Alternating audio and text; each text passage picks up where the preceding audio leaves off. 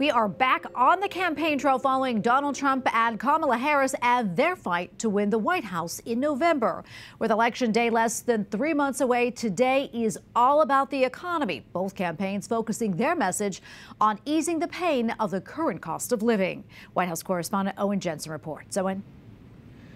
Tracy, tonight both campaigns are obviously well aware of how high prices are hurting people across the country.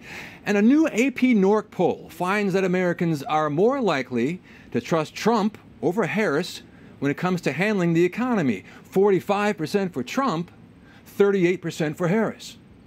Casting his primary election ballot during early voting in Florida, former President Donald Trump discusses the economy. It's gone very bad under this group of people with inflation with the economy itself and so many other things. And on the stump in Michigan, near Grand Rapids, his vice presidential candidate, J.D. Vance, with a similar message. When Kamala Harris raised the price of American energy, Michigan suffered, you suffered. The Ohio senator pinning the blame for inflation on President Joe Biden and Vice President Kamala Harris. Vance's comments come as year over year inflation reached its lowest level in more than three years in July. In the White House press briefing room, Jared Bernstein, chair of the Council of Economic Advisors, telling reporters inflation is coming down, but also acknowledging. But there are too many prices that are still too high. And I think that's one of the reasons for the disconnect that you described, for some of the negative vibes that you described. And the, the, you know, I have three words for people who feel the way you just said, which is we hear you. The president hears you. The vice president hears you. The Trump campaign blasted today's Labor Department report saying America cannot afford another four years of Kamala's failed economic policies.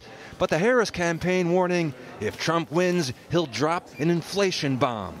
So, how is the economy doing from the perspective of someone not running for office? One expert described it for us in these terms. What we're seeing now is that even though there is the, the inflation rate is, is leveling off, it is still a higher rate than it was uh, four years ago. So everything that a, a, a, anybody buys in the marketplace is in a, in supermarket is 20% higher than it was than four years ago. Back on the campaign trail, Harris plans to be in North Carolina on Friday to discuss building up the middle class. And tomorrow, she and President Biden will be in Maryland to talk about lowering costs for Americans.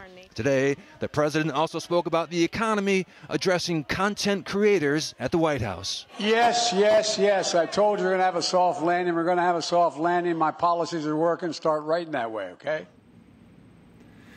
Now, late this afternoon, former President Trump held a rally in Asheville, North Carolina, discussing the economy. North Carolina has 16 electoral votes, and Trump won that state in 2020 by a narrow margin. At the White House, Owen Jensen, EWTN News Nightly.